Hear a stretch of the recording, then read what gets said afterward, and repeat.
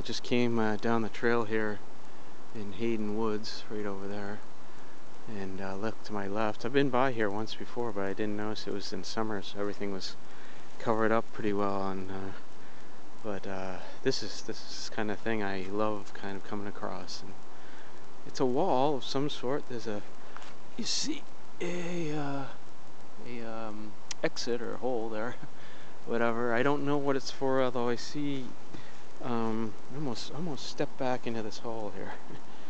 almost slipped down into that. But anyway, you got some uh, you know more modern day cement type stuff here, and I don't know. It makes it not seem like it's that that old, but then again, after this part, there's there's real old wall uh, rock. You know, rock bases here that doesn't look like it has the, the kind of the modern day cement. In fact, it goes all the way down there. There's another little um, drainage thing or something.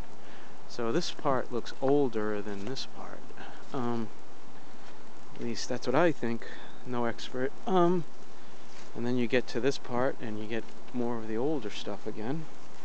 I'm gonna go around to the, the front part, what, what the front looks to everybody walking by the trail there. But anyways, nice colors all by the way. It is fall.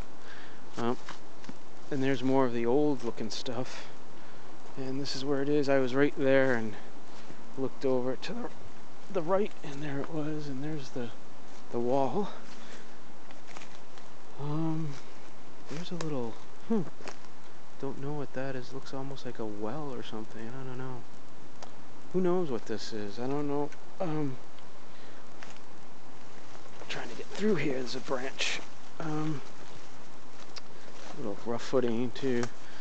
I did a video earlier this year too, right around the corner. It's called Old Shade Lane, and this might be part of it. It was um, made or built in 1660, so I don't know if you know I can put. This is probably newer than that, is my guess. I don't think it's that old. But that period 1600 16 you know 50 60 is about as old as it gets around here. So anyway there you go. Don't know what it was but love finding this stuff. Okay I don't have a lot of time left on this chip so I'm gonna save it